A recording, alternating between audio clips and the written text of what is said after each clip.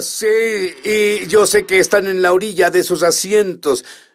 Yo quiero saber lo que Dios mismo dijo, que es la oración más sobrenatural en la tierra. Creo que la oración más sobrenatural en la tierra es Padre nuestro que estás en el cielo, santificado sea tu nombre, venga a tu reino, hágase tu voluntad en la tierra como en el cielo.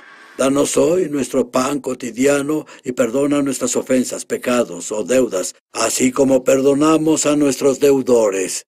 Y no nos dejes caer en tentación, sino líbranos del mal, porque tuyo es el reino y el poder y la gloria por siempre. Sí, yo creo que es una oración sobrenatural. Todo lo que no es sobrenatural es superficial. Y creo que Jesús, cuando estuvo lejos de sus discípulos, creo que es lo que él oraba. Creo que él se apartaba en la mañana para orar y él oraba la oración que les enseñó. Cuando oren, oren así. Pero, pero sabes, cuando yo escucho esta oración en una congregación, es parte del ritual. No tiene impacto, no tiene significado. ¿Qué significa para ti? Ah, tiene significado, porque es la oración que cambió mi vida. Número uno, comencé a orar esta oración porque Creíamos en Dios para hacer algo en cierta ciudad en Houston, Texas, del lado este, el segundo barrio, y comenzamos a orar cada día, y yo oraba que venga tu reino, entendiendo que Él era mi Padre, y hablaba a Él así, santificado sea tu nombre, y orando en su nombre, sabía eso, pero nunca oré que venga tu reino. En realidad en, en griego, ¿sabes que significa que pisas fuerte un pie y luego el otro y dices, venga tu reino?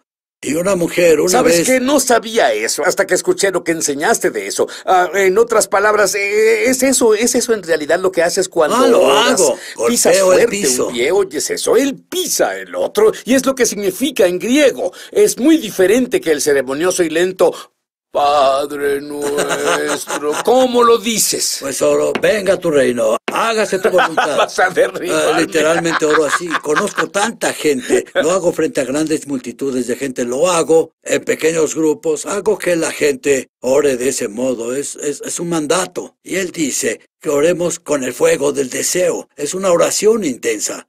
Lloraba al orar. Jesús dijo esto. Los discípulos le dijeron, enséñanos a orar como tú oras. Sabemos que en Hebreos dice que con gran clamor y lágrimas él oró.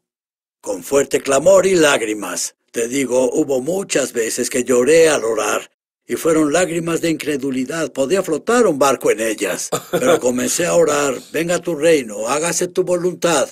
Y fue con seriedad y urgencia y el fuego del deseo. Las cosas comenzaron a pasar, los milagros sucedieron. Muy bien, tú, tú conducías con tu esposa en Houston.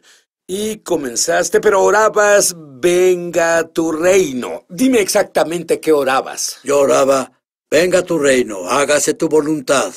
Y lo que pasó fue que mi esposa dijo, alguien necesita trabajar con los jóvenes en Houston. Esto fue durante la guerra de Vietnam. Yo no sabía exactamente qué sucedía. Pasábamos por una escuela en la noche y solo di un vistazo a la escuela y dije, oh Dios, dame esa escuela. Y quise decir, dame una oportunidad para ministrar a los jóvenes. No quería el edificio. Estaba destruido, dañado, parecía como algo construido en los años 30, y lo era. Y era una secundaria, y Dios nos dio esa escuela. Y los siguientes 48 días, probablemente tuvimos mil jóvenes venir a Cristo en esa mm. escuela por el milagro de la oración. Y esa escuela tenían, eh, tenían tipos que vendían drogas, traficaban drogas, eran mulas, les ataban droga a ellos y los enviaban a Miami, chicos que tenían 12 y 13 años para llevar sus drogas hasta Miami para los cárteles en ese tiempo. Y también tenían prostitución en la secundaria y decomisamos un montón de droga y la pusimos en el escritorio del director. Yo era joven entonces, y te lo digo ahora, está tan fresco hoy como lo fue entonces, porque cuando comencé a decir esa oración vi su poder. Y muchas personas creen que orar es aburrido. Te lo digo, es lo más emocionante. Si quieres algo de romance en tu experiencia cristiana, si dices esta oración, Dios transformará tu vida. Venga a tu reino en mi hogar. Venga tu reino en mi negocio. Dios puede cambiar tu negocio. Venga tu reino en el ministerio al que pertenezco o en la iglesia. Cuando oramos así, oramos en alianza y uh, oramos en fidelidad de acuerdo a la palabra de Dios.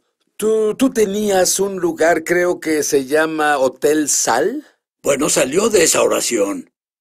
Salió de esa oración. Y, había tiempos en que la gente quería destruir ese edificio, pero dime sobre ese gran ángel. Bueno, lo que pasó fue que oramos eso y necesitábamos otro lugar porque crecimos en la iglesia con los jóvenes y a unas cuatro cuadras de la iglesia una mujer nos dio una gran casa con un garaje para tres carros y un departamento sobre él y un duplex. Así que teníamos un complejo donde trabajar con los jóvenes. Era como una mini iglesia ahí y los chicos podían ir. Teníamos de 250 a 300 chicos por noche, a veces amontonados en esa casa. Y lo que pasó fue que los eh, drogadictos en el área comenzaron a notar lo que sucedía ahí. Así que querían pararlo. Sí, y un tipo vino. Él iba a robar el lugar.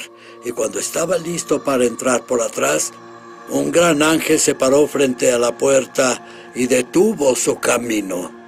Él vio al ángel y corrió con miedo del lugar y fue y le dijo a todos los drogadictos que conocía en el este de Houston, no vayan a ese lugar. y ese, esa es mi clase de favor. Cuando volvamos, y esto, esto tengo que decírtelo a Clary, esto es duro para mí de entender, pero desarrollaron una oración. Fue una oración de 30 segundos. De hecho, te diré su nombre veloz. Y al final de los 30 segundos, la gente que usaba muchas drogas, alcohol, adictos, fueron liberados. Quiero que él te enseñe esa oración. Volveremos.